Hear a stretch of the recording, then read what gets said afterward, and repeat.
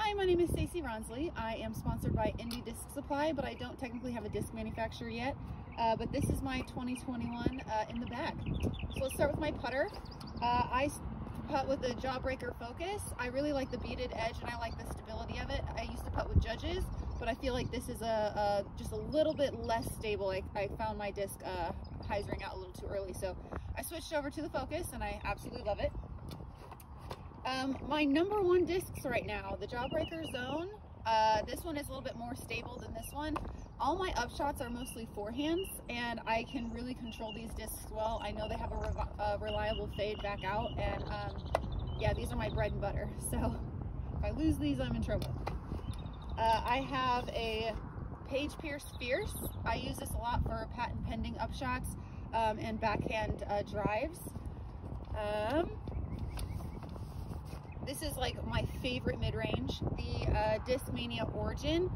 I love its glide. It just goes forever and it holds that line that you put it on and it's just, if you don't have one of these, go get one. It's, I love this disc. Um,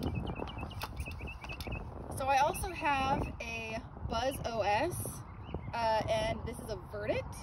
So they both kind of have the same function. Um, they're both really, really stable mid-ranges and I forehand these a lot also. And uh, they just have like a really consistent backhand finish. So I like those as well. Next is my T-Bird. Again, I use this on uh, my forehand upshots that are going from like 250 to like 300. I use this one a lot. Um, and these next ones are all kind of the same. So these are all different manufacturers, but I consider them the same disc.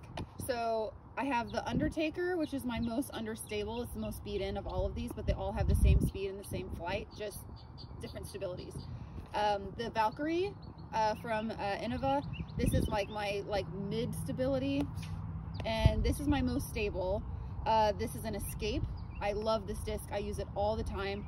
Uh, and this is a less stable uh, Escape.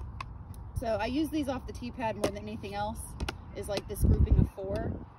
Um, this is my Firebird, my uh, Ricky Wysocki Firebird.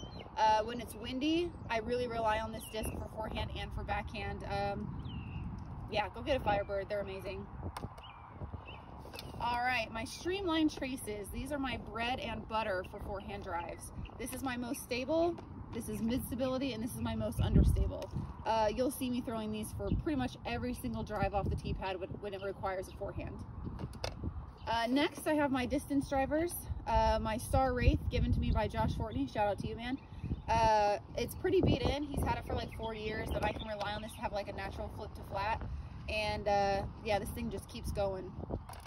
And then this is my lady's first disc golf. Uh, this is a Shrike. It's really lightweight. It has a pretty understable finish, so I can rely on this to get like 350 feet or more, but it'll have like a, a slow fade to the right instead of a finish left. Uh, these are my wind my wind fighters.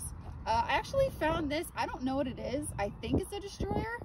I'm not really sure. I found it in the water, but it fights the wind really, really well, and it has a really reliable fade finish.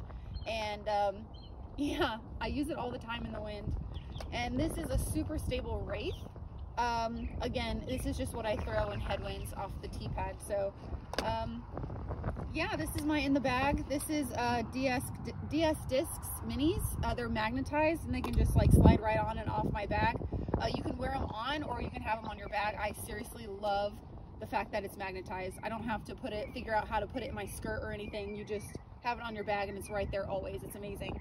And then uh, Bussini Disc Golf knee pad um, another one of my sponsors. I use this all the time when I have to take a knee on the course. So um, yeah, that's my in the bag. I hope you enjoyed it and follow along with me on my Instagram uh, throughout the season and I'll keep giving you updates on how I'm doing at these tournaments. Thanks guys.